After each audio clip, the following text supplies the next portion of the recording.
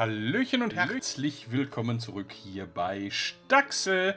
Für mich schon wieder ein paar Tage her, bei euch auch ein paar Folgen ausgefallen. Es liegt letztlich daran, ich stream zu viel und habe dann so wenig äh, Lebensenergie noch über, um äh, weiterzumachen.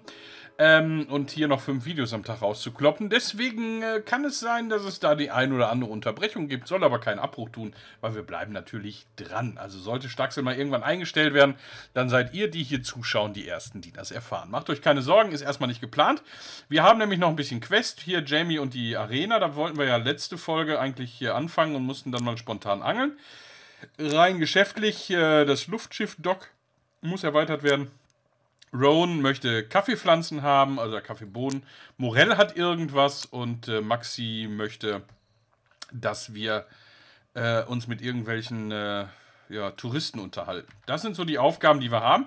Ich hatte gestern, also am gestrigen Tag, so muss man das sagen, äh, weil die Aufnahme ist natürlich schon weit über eine Woche her, ähm, irgendwo auch einen Karottenkuchen abgeben sollen, finde aber im Journal dazu nichts. Wahrscheinlich war das wieder so ein, kannst du mir einen Karottenkuchen geben? Ja, mache ich. Oh, zu spät. Genau in der Geschwindigkeit auch. Na?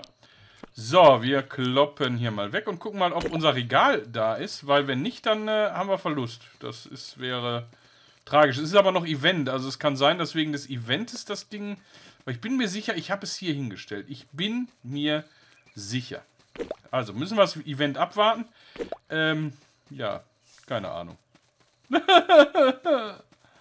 so. Ähm. Iris? Iris, hallo. Hey, warte doch mal. Oh je.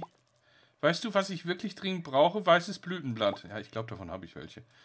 Ja, ja, ja, ich kümmere mich drum. So. Mache ich. Ich habe aber noch was für dich. Warte, warte, warte. Hier. Stehst du eventuell auf ein... Oh. Super, Glühwürmchen. Ist das für mich? Ja, für wen denn sonst? Natürlich. Cool. Davon kann man nie genug haben. Das stimmt. Weißes Blütenblatt. Haben wir sowas? Oder ist das wieder... Hallo Katze. Aber wir sind schon verliebt, ne?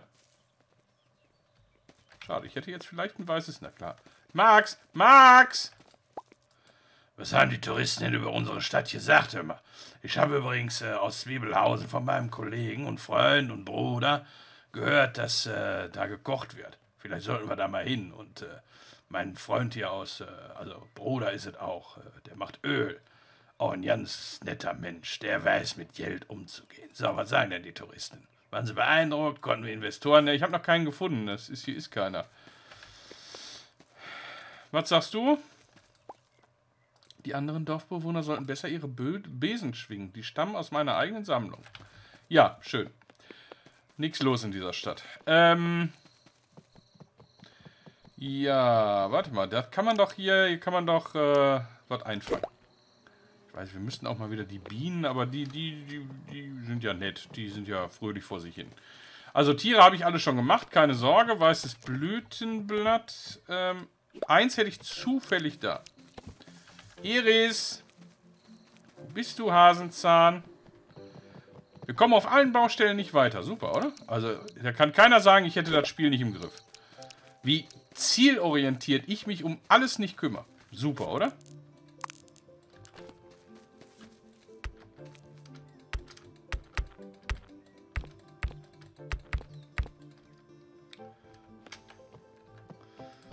Ich räume nur mal auf.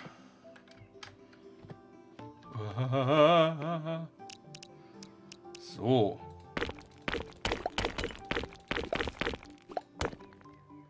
Zack.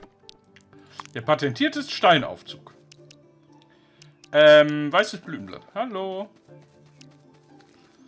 Was hast du denn Nettes im Angebot? Erstmal wieder so ein bisschen orientieren. Vielleicht schaffe ich es heute so zwei, drei Folgen am Stück aufzunehmen. Ne? Das ist so der Plan. Oskar.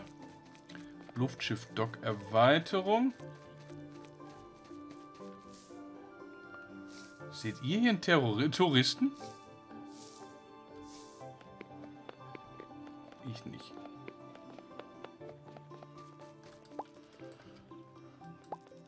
So, da war die Lebensmittelgeschichte, alles klar. Du hast weißes Blütenblatt für mich gefunden. Kann ich es haben?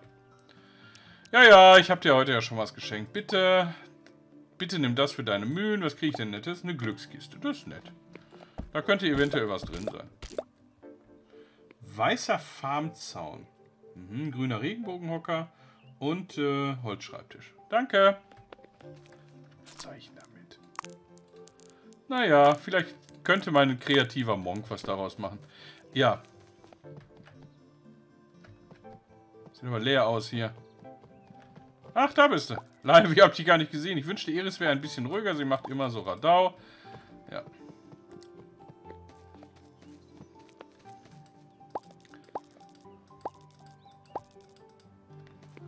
So, dann fehlt uns noch Roan. Aber da können wir hin, wenn wir Kaffeebohnen haben.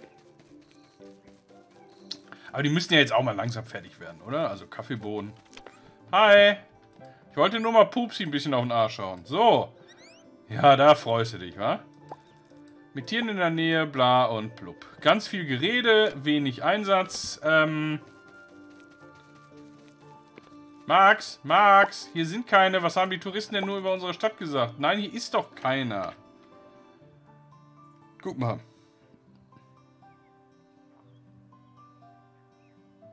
Kein Tourist. Oder? Hexe, Hexe.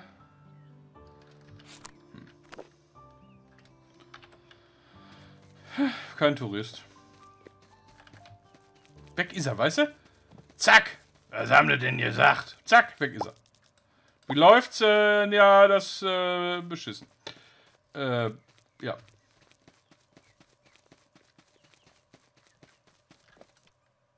Schleimige Statue, ja. Pharma-Statue. Muss ich noch irgendwas machen? Nee, ne? Also die Kuchenaufgabe, die ist mir wieder gestellt worden, so unmittelbar bevor sie abgelaufen ist.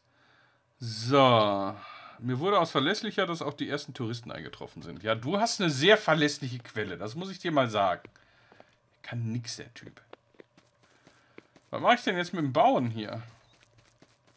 Bin gerade ein bisschen aufgeschmissen wegen des Eventes. Hattest du etwas dagegen, wenn ich denke, wäre auch eine gute Idee. Also auch nur Gerede, keine neuen Rezepte. Karottenkuchen. Wisst ihr noch, wer für Karottenkuchen empfänglich war?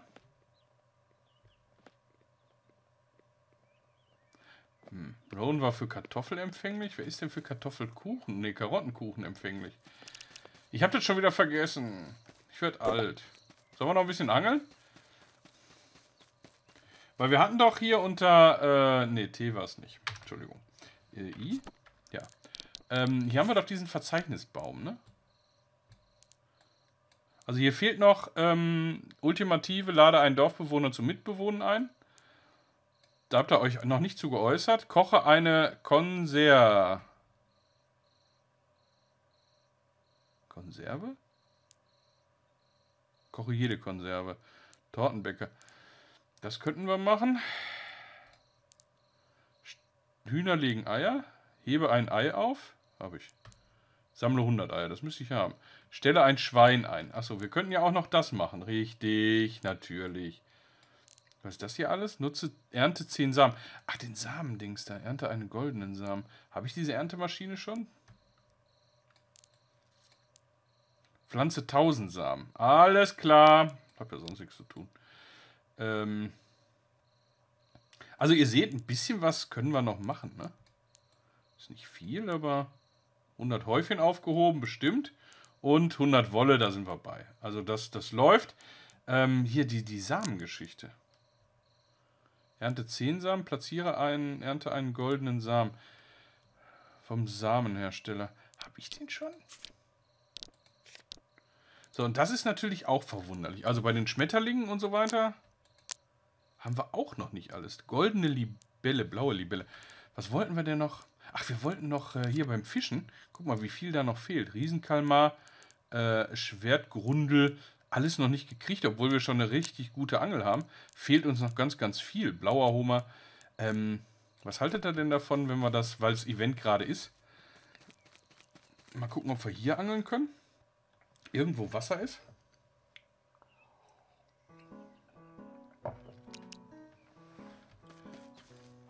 Ich weiß, ist jetzt nicht so spannend, aber ich muss es ja irgendwie strukturieren. Mir ist dann schon wieder alles viel zu viel, was ich da äh, auf dem Plan habe.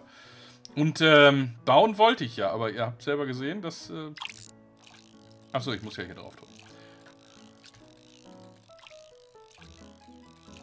So. Bin nämlich heute nach eigentlich viel zu wenig Schlaf ähm, relativ fit heute Morgen. Ja, es ist äh, Sonntag, der 12.04., 10.53 Uhr. Das heißt, diese Staxel-Folge soll heute auch rauskommen. Im Hintergrund schneide ich gerade Far Cry-Folgen für nächste Woche. Das bietet sich immer an, dass, der, äh, dass ich schneide und dabei so Sachen wie Prison Architect oder Staxel aufnehme, weil die nicht so ressourcenfressend sind. Da kannst du durchaus im Hintergrund noch ein bisschen was murksen, rendern und äh, kaputt machen. Da, ohne dass dein Rechner gleich in, in Brand gerät. Ne? Fliegende Fisch. Ähm, bei sowas wie Fallout oder Planet Zoo würde ich das nicht machen, weil das merkst du relativ schnell in der Performance. So, außerdem wollte ich mich heute noch um äh, andere Dinge kümmern. Also ich habe heute zum Beispiel schon angefangen, ähm, einen Abfluss zu reparieren und habe dabei festgestellt, dass äh, eine ganz wichtige ähm, Schraubenhalterung regelrecht wegoxidiert und weggerostet ist. Dementsprechend habe ich jetzt ein Waschbecken, eine Seegurke, yeah, äh, was ich nicht mehr benutzen kann. Das ist natürlich schön. Sowas sollte man immer Ostern machen, weißt du? Aber heute hatte ich das erste Mal Lust, mich um diesen fürchterlich müffelnden äh, äh, Abfluss zu kümmern und äh, mal zu gucken, was denn da jetzt genau plötzlich nicht funktioniert. Das Wasser floss nicht mehr gut ab. Und ich habe mich so ein bisschen davor geekelt. Vielleicht könnt ihr das nachvollziehen, dass ich jetzt, ne, ich deswegen zum Beispiel auch kein Hund oder so, ne? Wenn ich mir vorstelle, ich muss in diese gerade gelegte warme Kackwurst greifen, auch wenn ich eine Tüte oder einen Ballonfisch oder Handschuhe anhätte oder so, ich könnte auf der Stelle auf die Tastatur reihen. Ehrlich, das ist, ist etwas. Meine Schwester zum Beispiel, die kann das problemlos. Ja, gut, ist auch ausgebildete, examinierte Krankenschwester, aber ne, die findet wahrscheinlich Körperflüssigkeiten geil, aber ich Also wirklich, das ist nicht meins. Und da habe ich mir überlegt, ist es vielleicht sinnvoll, auch kein Haustier anzuschaffen. Weil ich müsste mich ja darum kümmern. Also ich wäre ja einer, der würde nicht sagen, ja, wenn mein Hund auf die Straße kackt, müssen sie eben aufpassen, wo sie hinlatschen. Riesengoldfisch. Mh. Hm. Sondern ich würde mich natürlich darum kümmern, weil ähm, kann ja nicht sein, dass die Allgemeinheit darunter leidet, weil ich ein Haustier habe. Ich weiß, ist eine Einstellung, die kommt jetzt nicht überall gut an. Die meisten würden sagen, ist mir doch scheißegal. Wenn mein Hund dahin kacken will, dann ist das sein gutes Recht. Ich zahle ja schließlich Steuern. Wollen wir es weiterführen? Und ähm, ich sehe das anders. Eine Fadenschnecke. Oh, wir finden heute, hier war ein guter Angelpunkt. Haben wir gut gemacht. Und ähm, ja, da muss ich da heute in diesen und da, ich weiß nicht, also. Ich habe auch noch nicht gefrühstückt, Gott sei Dank. Ist nicht so meins, weißt du? Ja. Naja, und da ist wie gesagt eine Schraube wegoxidiert. Und äh, ja, jetzt kann ich das natürlich nicht mehr zusammenbauen. Dementsprechend müsste ich mal zu einem Baumarkt. Aber genau da wollte ich eigentlich nicht hin, weil da stehen jeden Tag so viele Leute vor. Und ich weiß auch immer nicht, was ist eigentlich die richtige Uhrzeit, um einkaufen zu gehen. Also gestern am Heiligen Samstag habe ich ja den Stream absichtlich beendet, obwohl es gerade wirklich schön war. Oh, Nahwahl, toll. Obwohl es wirklich gerade richtig schön und gemütlich war, morgens um 6.30 Uhr, ne, so 6.30 Uhr, 6.45 Uhr herum. Ähm, aber ich habe gesagt, ich, wenn ich jetzt nicht einkaufen gehe, dann, ich werde ja auch immer müder, weil ich ja die Nacht wieder durchgestreamt habe. Und dann ist das so voll und ich komme da hin und denke mir vom Aldi, wo ich nicht hin wollte, schon Schlange ohne Ende. Morgens um 4 nach 7 oder was war ich da? Ich denke so, ja klar, das sind die ganzen ganz früh aufsteher. Ähm, wenn der erste Schwung weg ist. Bin dann in den, was, Mini-Delfin? Ach, ein Mini-Delfin. Bin dann in den Laden daneben gegangen, da ging es noch, da gab es auch noch Einkaufswagen und ähm, hab natürlich tranig, wie ich bin, das Portemonnaie im Auto vergessen, also musste ich dann erstmal wieder raus und ja, ohne Wagen dürfen sie nicht rein. Ich sag, sie werden es nicht glauben, aber mein Wagen steht äh, bei der Kühlung hinten. Ich habe Portemonnaie vergessen. Aber die waren relativ aufgeschlossen. Sagte, ja, ich kann mich auch erinnern, sie sind doch gerade mit Wagen reingegangen. Ich sag, genau. So kam ich dann ohne Wagen mal rein. Musste mich natürlich dann wieder in der Schlange anstellen, die immer länger wurde. Und ey, ich war so froh, dass ich da raus war. Ne? Und in dem Ladenkomplex ist auch noch ein Bäcker, da wollte ich mir noch zwei Brötchen mitnehmen. Natürlich die Schlange bis nach draußen, weil die jetzt eine eigene Schlange aufgemacht haben. Habe ich mich einfach zwischengedrängelt, freundlich mit einem älteren Herrn gequatscht. Der dahinter war ein bisschen nölig, aber was interessiert mich das? Ich weiß nicht, ich pack doch nicht die Einkäufe in, in den Wagen und stelle mich dann wieder acht Stunden da an. Für zwei Brötchen, ich hatte Geld passend. Ich soll sich jetzt mal nicht so anstellen. Das ging ruckzuck. Mein Einkauf hat vielleicht zehn Sekunden gedauert. Wirklich zehn Sekunden. Aber wie das so ist, der gute Deutsche muss natürlich nölen. Dem NSDAP-Blockwart Bescheid sagen. Herr Oberst, da hat sich einer in der Schlange vorgedrängelt. Das darf doch nicht sein. Ja, ja. Doch darf. Ich bin nämlich nicht preußisch erzogen. So, alles klar. Feenal. Also hier finden wir ja interessante Dinge, ne? So, und dann habe ich äh, meine Eltern gesehen, beziehungsweise das Auto von denen. Die waren nämlich im selben Laden einkaufen. Allerdings haben wir uns im Laden nicht getroffen. Bonnie Wurstig, beziehungsweise... Oh, verdammt. Die Fleischtheke, ich habe mir gerade durchs Gesicht gestreichelt, deswegen... Der ist entkommen. Ja, ja, das kann, das kann schon mal passieren. Ähm, voll. Äh, Warteschlangen. Ich denke, wo bist denn hier? Das hört sich schon so an, als wenn es Bananen gäbe. Oder andere Süßfrüchte. Ehrlich, das, ähm... Das Schöne ist, dass ich das tatsächlich auch erlebt habe. Ne? Also ich war tatsächlich ja in der DDR. Ich weiß nicht, ob ich die Geschichte schon mal ausführlich erzählt habe.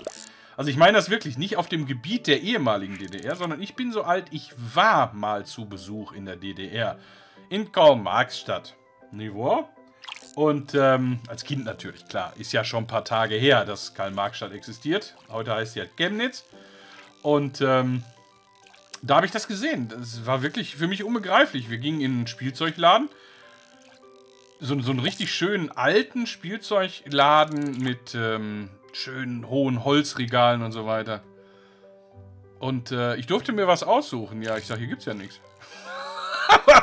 Aber war wirklich, die Regale waren leer, da war nichts. Ich war völlig irritiert. Ich meine, als Kind habe ich das ja auch politisch überhaupt nicht verstanden. Ne? Aber da habe ich dann ähm, tatsächlich auch aus, aus so einer Art Kunststoff ähm, handbemalt so, so ein ähm, im Maßstab 1 zu 87 für meine Modelleisenbahn, die ich als Kind hatte, ähm, hier so, so ein Wasserschwenkarm für Dampfloks äh, gekauft. Das war das Einzige, was, sagen wir mal, im Kleinen, weil ich sollte ja nicht den ganzen Laden leer kaufen, ne? oder einen Teil für, für 50 Mark, oder sondern eine Kleinigkeit eben für ein Kind. Ne?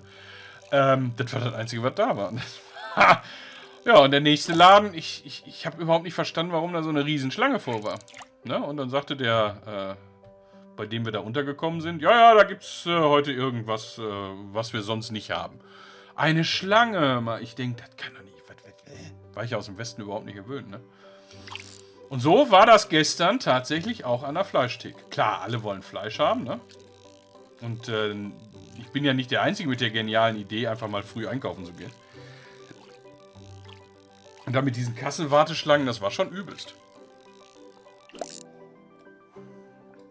So.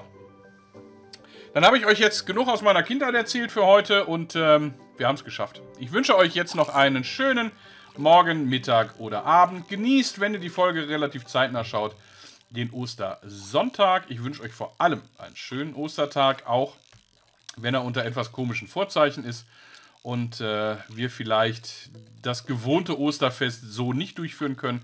Aber Ostern ist ja mehr als äh, irgendwo Kuchen fressen und äh, ne, sich mit der Familie streiten, sondern ähm, Ostern ist ja eigentlich ein christliches Fest. Also lasst uns auch christliche Nächstenliebe leben und alles wird gut. Ich wünsche, also wie gesagt, ne, und äh, lasst gerne, wenn es euch gefallen hat, einen Daumen nach oben da. Und ansonsten sehen wir uns. In zwei Stunden kommt schon das nächste Video raus. Oder wenn ich es jetzt schaffe, hintereinander noch ein paar Folgen aufzunehmen, dann in zwei Tagen auch garantiert wieder eine Starkselfolge. Schauen wir einfach mal. Also, macht es gut. Bis dahin. Ciao, ciao. Was haben wir denn gefangen? Feenanglerfisch. Toll.